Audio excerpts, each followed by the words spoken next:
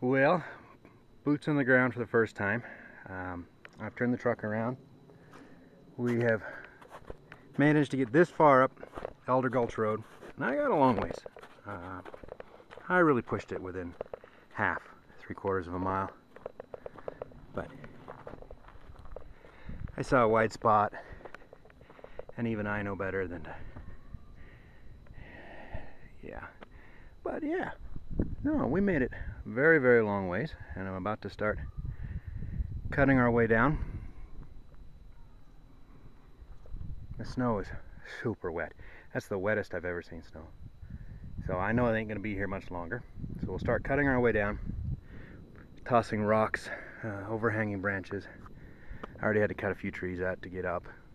Eh, probably another eight hours of work, but it feels nice to be up here. 7,000 feet, but finally boots on the ground. You know what I mean? We're about to find out, after all that preparation, if this is going to work or not.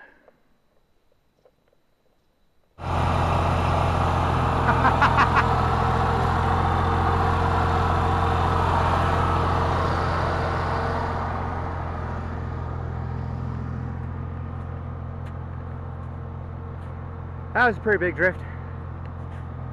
Came down through this one. I had to go up the round, but I got to come down. Plowing snow with the trailer, huh guys?